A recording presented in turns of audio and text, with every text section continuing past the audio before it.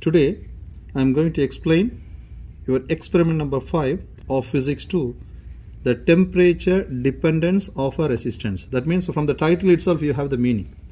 That means the resistance entirely depend on the temperature and vice versa. Whenever you increase the temperature the resistance get increased. So what is our title what is our objective of this experiment? To demonstrate that the resistance of a light bulb filament is non-linear. So today we are going to use one bulb. So that bulb is this one. You can just have a look here. We are going to use this bulb and inside the bulb you can see the filament. Inside the bulb you can see the filament. The thin filament is made up of tungsten material. Whenever you turn on this you can see inside. You can just see here inside the bulb there is one filament. Am I right? Clear? So this filament nature is non-linear behavior. Clear? we are going to demonstrate that your bulb filament is non-linear and by using this we are going to find what temperature it is operating. So for this experiment we are going to use two equation. This equation V which is equal to IR for our table part. By using this equation we are going to calculate the resistance. How you can arrange? Therefore my resistance which is equal to V over I. Clear? We have to use this equation in the table. But for the data analysis part, we are going to use this equation. R which is equal to R naught 1 plus alpha multiplied by R minus R naught. My dear, if you want to write it easy, you can use our thermal expansion, linear thermal expansion. Do you remember that?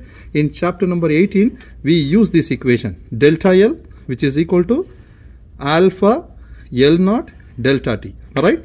So here you can use this wherever you have L replace this L with resistance so if you replace what will get what will happen or delta R which is equal to alpha this L naught becomes R naught and this becomes delta T now what is delta R R minus R naught alpha R naught this delta T is nothing but T minus T naught so that equation is this one so here they give the equation in terms of resistance but here I just wrote the equation in terms of change in resistance.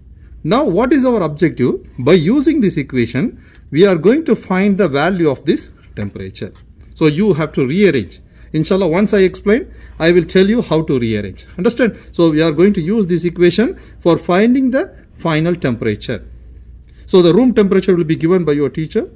By using this, you have to find the final temperature R and R naught value you have to get from the graph. Today the graph is a little bit different. So I will explain after I give the explanation from the table. Okay. So now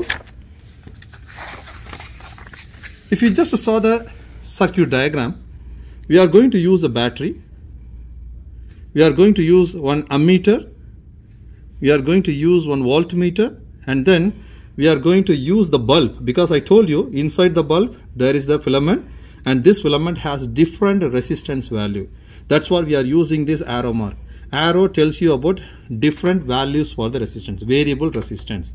Clear? So this is our schematic diagram. Now I will show you what is what are the apparatus today we are going to use. This is your battery. And we are going to use the bulb which is nothing but our variable resistance here inside the resistance we inside the filament the filament will have different resistance value and then we are going to use two multimeter the first multimeter is used to measure the current. You can see it's measuring A. A stands for ampere and this multimeter is used to measure the voltage V. Clear? But anyhow, if you just see the monitor of this power supply, here itself you have the voltage, voltmeter and ammeter. But this is only one digit or two digit accuracy. But if you are using the multimeter, it will give more information, more clear, more perfect answer. Understand? So if you just see the table, this is our table for today experiment. We have two tables. That means for this experiment, you have to draw two graphs. So if you just see the first table, the first table is for low voltage range. So if you just see the voltage, the voltage changes in terms of small level, 0 0.2, 0 0.4, 0 0.6, 0.8, 1. So that means here we are going to give small level voltage for finding the respective current. If you said 0.2 volt, what should be the current? If you said 0.4 volt, what should be the current? 0.6 volt, what should be the current? 0.8, what should, likewise you have to finish the current. Once you get the information about the current, you can easily find the resistance by using this formula. R which is equal to V over I. So you can see the second table. Second table is also exactly the same, but you can see the range of the voltage. Here we are just changing the voltage in terms of 1. 1, 2, 4, 6. That means it's a big number. So you are going to give a big voltage. That means the range of the voltage is very high. So for this high voltage, what should be the current? So these two things we are going to find by using the first table. We are going to get the value of R naught. By using the second table, we are going to get the value of R from the graph. Clear? Now I am going to explain two readings for each table. I'm going to take one reading for the first table. I'm going to show you the reading for the second table. And after that, I will explain the graphical part. Understand? So now what I'm going to do, you can see here, we have 0.2 volts. So I'm going to find the current for this 0.2. So you can just see the battery. We have two monitors, two screen, and here we have voltage knob, and here we have current knob. Generally, we should not touch this current, and you have to touch only the voltage. So by adjusting this voltage, you have to set 0.2 voltage here. So you can see here, I'm going to set 0.2. See here, 0. 0.2 volt I said. And now I have to turn on this multimeter and we have to find its respective current. Because voltage we already gave here so no need to worry about this multimeter because already this battery have voltmeter inside so the value of the voltmeter is given here 0 0.2 0 0.4 0 0.6 0.81 so I'm going to give 0.2 here. I'm going to measure its respective current itself. What is the value of the current? It is exactly 0.17 so I'm going to take this value. I'm going to write it here. Clear? And once you find the current, you can easily find the resistance. Okay, so now I will just show you the calculator. Could you please pause? So you can see the table. We have the current, we have the voltage. By using this current and voltage, we can easily find the resistance by using this formula R which is equal to V over I. So I am going to use my calculator. I am going to divide my V by I. So that means my V value is 0.2 divided by 0.17 so what should be the value here 1.176 so I'm going to write only two digit so I can write 1.18 and likewise you have to set 4.4 you can just have a look here. I'm going to set 0.4 I said 0.4 here. What is its respective current? It's 0.33 so for this 0.4 voltage, I got 0.31 current. So I'm going to write this value here. So here you can just, you can see here 0.4, I got 0.31. Now I have to divide this value by this. So 0.4 divided by 0.31. So I got 1.29. So I'm going to write this.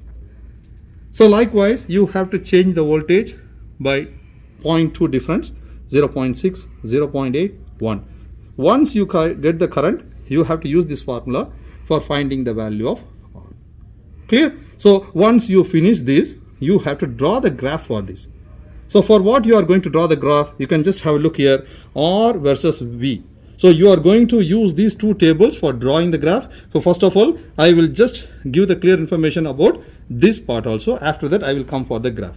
Or I can do one thing. First of all, I will explain the graph for this. So you have to draw the graph for R versus V. So here we have R, here we have versus. Once you complete the table, you have to take all this value in Y axis.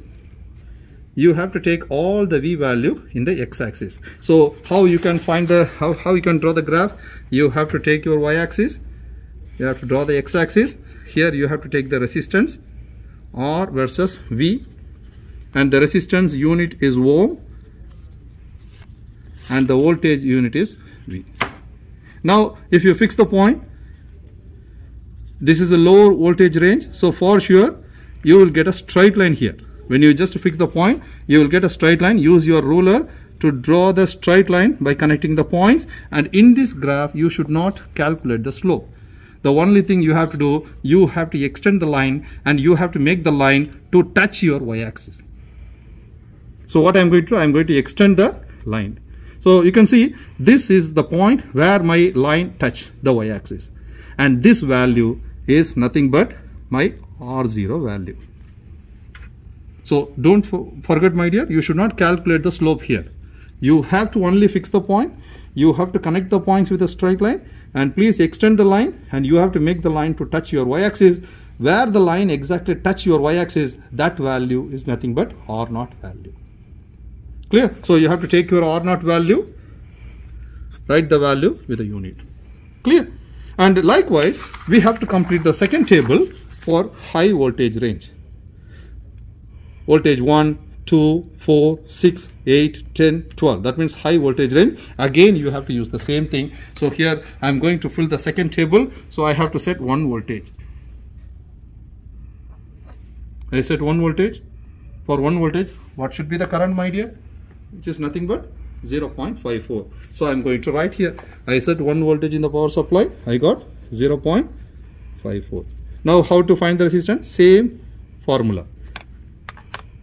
1 divided by 0.54.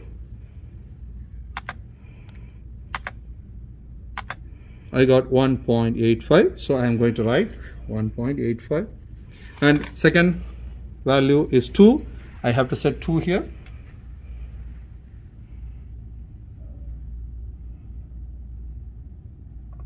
Two here. For 2 voltage what should be the value? 0.72 so likewise you have to use your calculator. 2 divided by 0.72 I got 2.77 2.78 because I have to round the value. My dear the most important thing you can just have a look of the bulb. When you give low voltage this bulb will not glow. But here you can see I gave the voltage in terms of 1 so before when you give 0 0.4 0 0.5 0.6 the bulb will not glow. You can just have a look here. Here I gave for example if you give the low voltage range the bulb will not glow. There is no light. But when you come for the second table when you come for the second table when you increase the voltage in the higher level the bulb will start to glow. You can just have a look here. I'm going to give 2 voltage.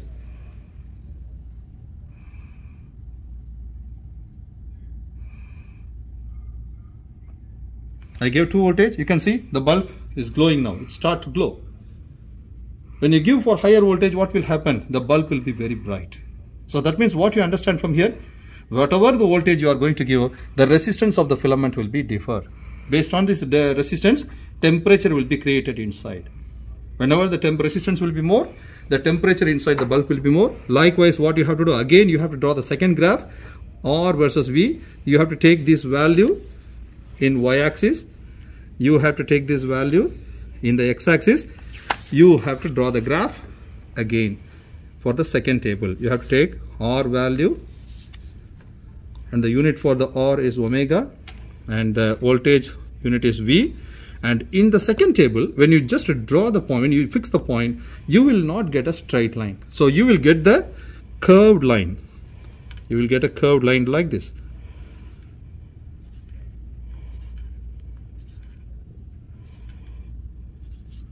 you will get a curved line like this. So what you have to do, you have to connect these points with a smooth curve. You should not use your ruler. You have to connect the points with a smooth curve. And what you have to do, you have to take the last point and you have to connect this last point to the y-axis. And this value is nothing but your R value. Clear? So from the first graph, you got the R naught value from the second graph, you got the R value. So once you got R naught and R, you can easily find the value of the temperature. So now what I'm going to do, I'm going to explain the equation. So I already told you, we are going to use this equation for finding the value of T.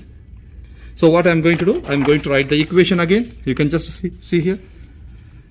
R minus R naught, which is equal to alpha R naught T minus T naught and the most important thing we are going to find the value of T.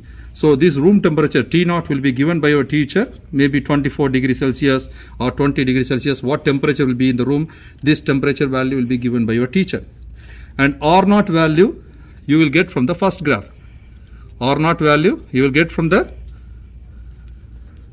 first graph. R value you will get from the second graph and once you substitute the value you have to find the answer now the most important thing i just show you the bulb filament am i right and this bulb filament is made up of tungsten material. And what should be the alpha value for tungsten? The alpha value for the tungsten is given in your paper. You can just see your paper here. The alpha value for the tungsten is given as 4.5 multiplied by 10 to the power of minus 3 per Kelvin. So the value is already given. Now you can see you have T naught value. Your teacher will give this value. R naught and R value you will get from the graph and alpha value for the tungsten is given as 4.5 multiplied by 10 to the power of minus 3. Now when you substitute all these things you can easily find. So you have to rearrange this formula in terms of T. So how you can rearrange? You can just have a look here. I'm going to keep this term here. I'm going to move this alpha R naught to the left hand side of the denominator. So T minus T naught which is equal to R minus R naught divided by alpha R naught. Now we are going to find the t. I'm going to move this minus t to the right hand side. By the time it becomes plus t. So my final equation becomes r minus r naught over alpha r naught plus t naught. Substitute the value of r from the second graph. Substitute the value of r naught from the first graph. Alpha value is already given. T naught your teacher will give the value. Once you substitute the value you will get the operating temperature that is your final answer understand so we have to find what is our operating temperature so my dear this is the procedure for this experiment experiment of 5 temperature depends of the resistance that's it thank you